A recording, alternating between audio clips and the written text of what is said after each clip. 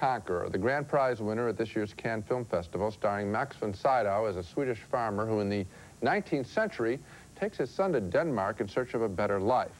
But instead of finding an easy life, they end up working for a dishonest landowner.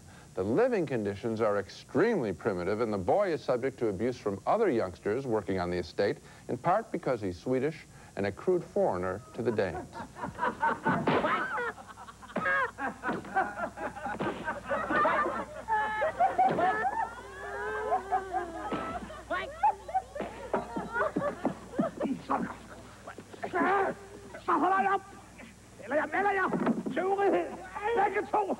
And that is the great Max von Sydow as young Pelle's father. They share their miserable life together with a son, oddly enough, more resilient than the dispirited father.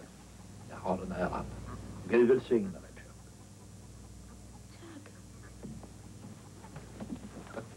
Von Sydow's degradation is authentic, as is most everything about this period movie, which convincingly takes us to a hard time, not really all that long ago. Om inte vi kunde slå oss samman, vi skulle få det gott ihop. Du er for gammeldags. Skal jeg have en mand, så skal han være fejlig. Du er ikke fejlig mere. Så. Er? Pelle the Conqueror is a film that celebrates the peasant without making him a saint. The film is beautifully shot, and after it's over, we think we've seen a living chapter in history. It's a fine film. I've always complained that the hardest kinds of pictures to do are period dramas because frequently they don't look dirty enough, the people talk in a natural way. This film felt authentic, like that great, uh, what was it, great double picture The series? Immigrants and the New Land. You yeah, but it. I didn't think this film came anywhere Well, that's a near better being film. as good as The Immigrants But would you recommend this one? Uh, you know, it's a real close call for me. I'm not sure I would, and I'll tell you why. For the same reason that you didn't like uh, The Boost. This movie was really predictable from beginning to end. I mean, once every character is set up, you know more or less what's going to happen to them. We've seen these kinds of pictures before in which little boys grow up in ways that are sometimes painful because of the evil adults in their lives and so forth. It's kind of Dickinsonian.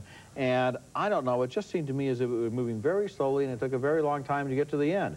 Max von Sydow was terrific in the role, but I wasn't really challenged to get involved and engaged What in about the movie. look of the picture? Had you seen the picture? The Look- picture looked great.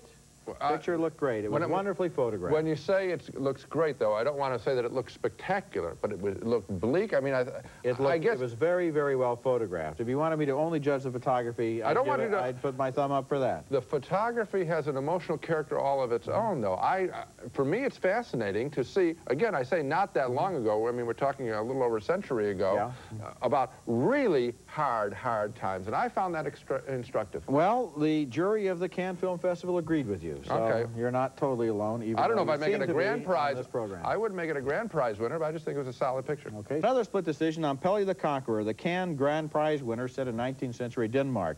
Gene liked the period look of the picture so much that he felt he could really feel it. I liked the photography too, but not enough to vote thumbs up.